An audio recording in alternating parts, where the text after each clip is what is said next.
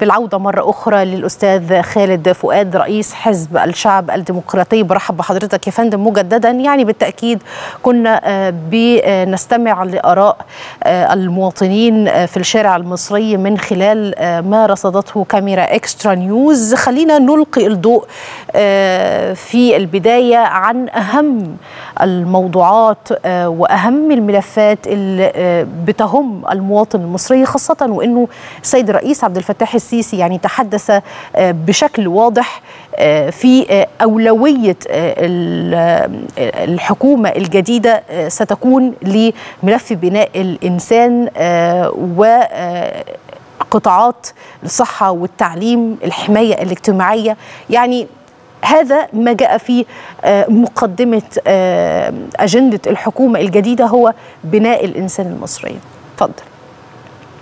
فخامة الرئيس عبد الفتاح أصدر تكليفات محددة لدولة رئيس الوزراء الدكتور مصطفى مدبولي. تكون من خلالها يعني مهام الحكومة الجديدة مهام محددة ومعلومة مسبقا أعتقد أن هذه الحكومة هي حكومة جني الثمار ثمار التنمية ثمار الجهود التي تدفقت طوال يعني الفترات السابقة إحنا الحمد لله أسسنا بنية تحتية قوية. قامة الرئيس استطاع أن يؤسس بنية تحتية قوية جاذبة للاستثمار. وهناك استثمارات كثيرة متعددة في كل المجالات.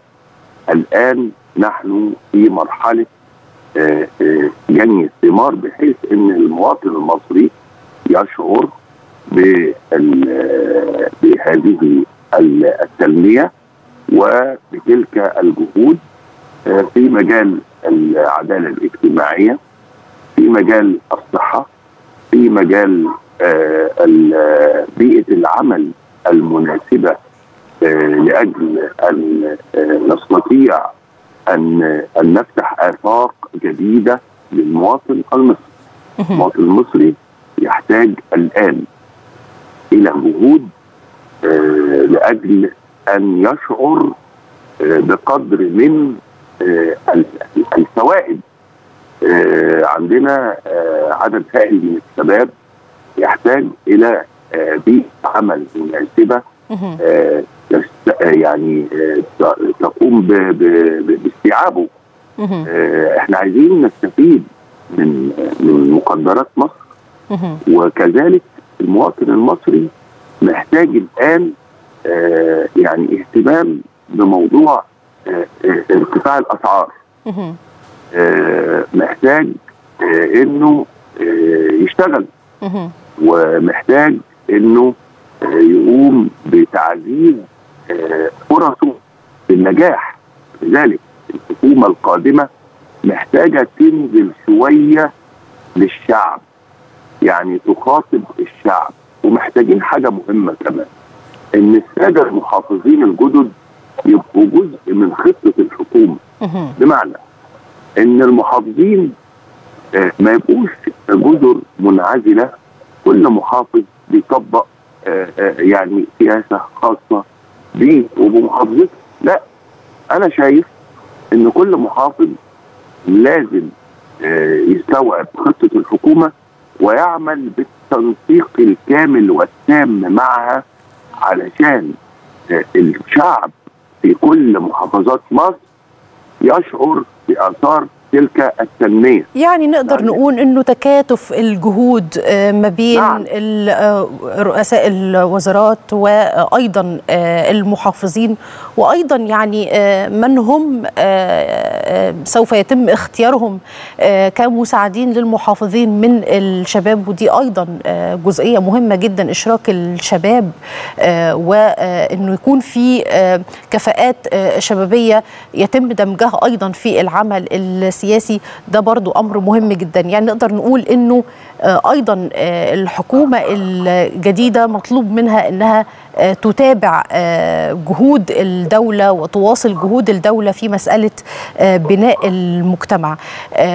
كحضرتك رئيس لحزب الشعب الديمقراطي إيه هي المطالب اللي بتشوفها ضرورية تتخذها الحكومة الجديدة في مسألة الأمور السياسية فكرة إنه أيضا يعني يتم الاتخاذ بكل مخرجات الحوار الوطني اللي بالتأكيد كنتوا جزء منه. آه هذا حقيقي آه إحنا كأحزاب سياسية وكحزب الشعب الديمقراطي وهو أحد أحزاب تحالف الأحزاب المصريه المكون من 42 حزب آه نطالب الحكومة الجديدة بإنها تقوم بتنفيذ يعني توجيهات فخامة الرئيس بتوسيع المشاركة السياسية.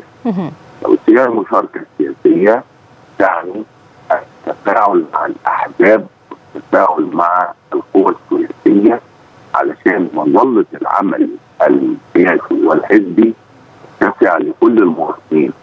عندنا شباب كتير محتاج يشتغل محتاج يبقى جزء من الخطه الاقتصادية. شباب العمل مفتوح. أنا أرى أن تفعيل وجود الخدمة العامة وإعادة نظام الخدمة العامة في مصر كفيل بإنه يقضي على البطالة. الشباب اللي مش مجند أو مش جيش ينزل يشتغل سنه حكوميه كده. هيبقى مفيد للجهة دي هيرقى من قدراتها كمان هيعزز من خبراته. أعتقد إن الشباب المصري إحنا عدد كائن من الشباب لنا حوالي 60% من شعب مصر شباب صغير. خريجين يتركون خدمه البلد مش مش مطلوب. ان الخدمة العامة تبقى للشباب سنة في حكوميه إحنا كاحزاب سياسيه استفدنا كتير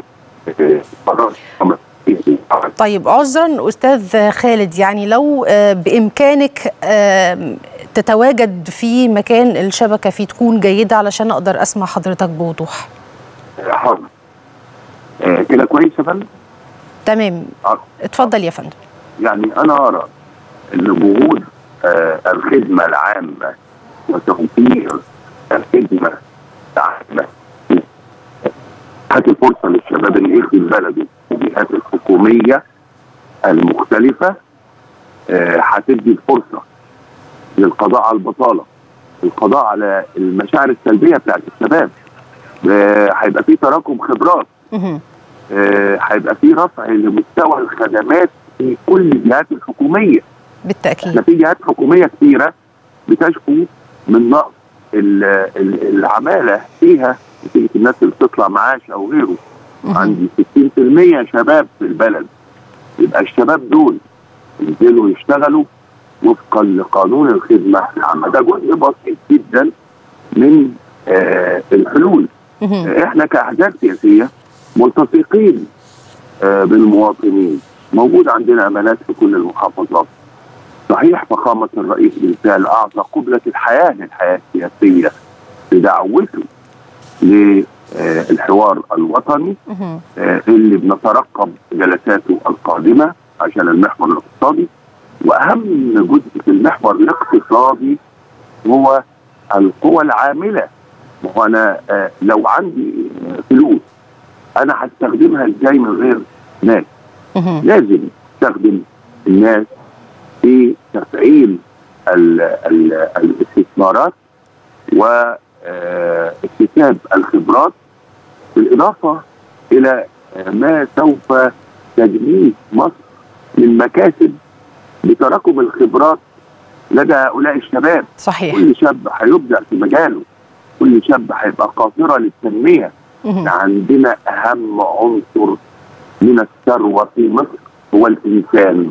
يعني بالتأكيد الحكومة الجديدة أمام حزمة من التحديات لمواجهة وتطوير مؤسسات الدولة والبناء على ما تم إنجازه خلال الفترات السابقة وبالتأكيد هي أمام اختبار حقيقي ليس فقط أمام الرئيس عبد الفتاح السيسي أو مجلس النواب ولكن أيضا أمام اختبار حقيقي أمام الشارع المصري والمواطن المصري في تقييم أدائها ودورها. أنا بشكر حضرتك. شكرا جزيلا أستاذ خالد فؤاد رئيس حزب الشعب الديمقراطي.